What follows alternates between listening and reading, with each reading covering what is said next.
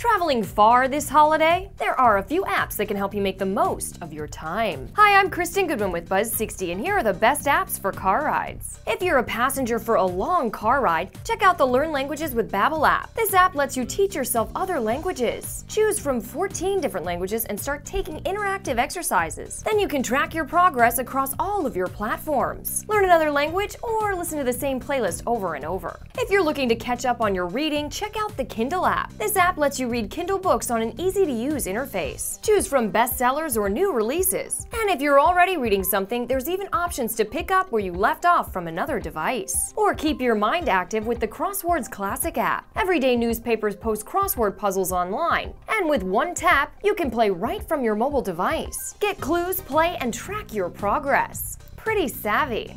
So try a few of these apps this holiday and take advantage of your travel time with tech. Buzz60, now you know, pass it on.